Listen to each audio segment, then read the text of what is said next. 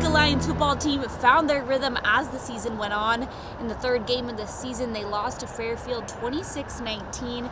Fast forward to now, the Lions are making a statement. They beat Fairfield in the first game of the playoffs and are looking to continue that momentum. Go, Kate! Go, Kate! Go, Kate!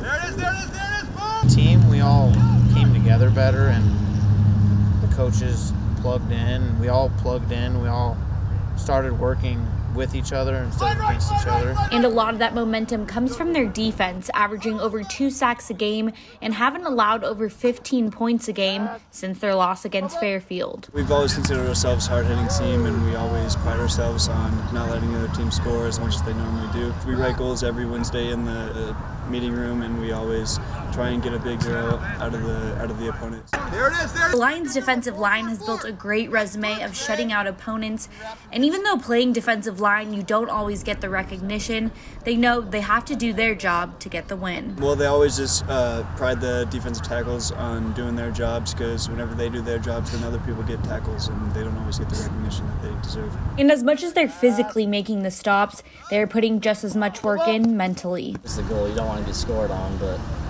if they start to score, we just gotta fix our mindset. and, You know, hold them back, keep focused.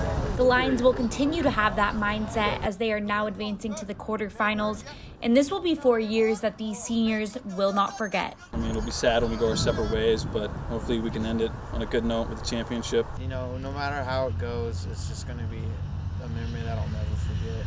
The Lions will be taking on Big Timber this Saturday at home. Reporting in Eureka, Alexa Belcastro, MTN Sports.